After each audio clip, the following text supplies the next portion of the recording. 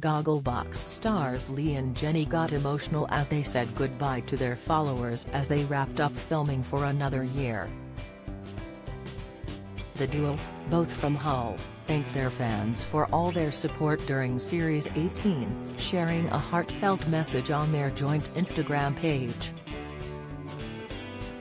Turning his phone around to show off the filming setup in his caravan, Lee said, As you can see we are on our last filming day today. He continued, I would just like to wish you all a very Merry Christmas and a Happy New Year. It has been lovely coming to your living rooms every week. Loads of your furnishings have been very nice and I have pinched loads of your ideas.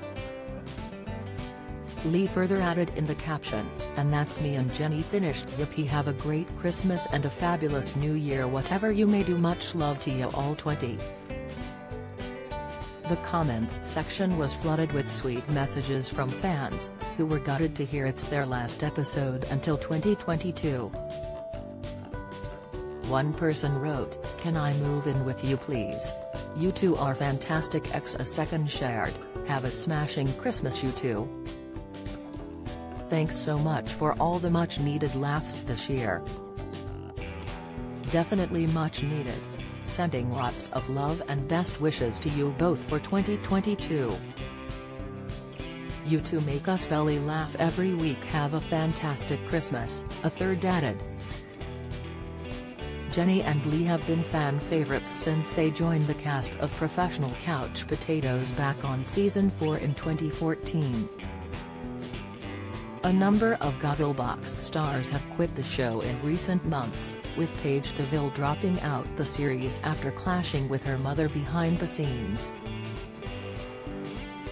While a number of other stars stepped back from the series following the deaths of loved ones.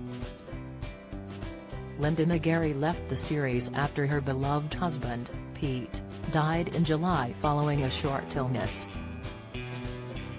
Carolyne Michael and her two children Louis and Alex left the series after husband and father, Andy, died in August.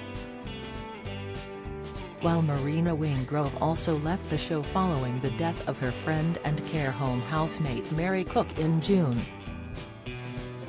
Gogglebox airs on Friday nights at 9 p.m. on Channel 4.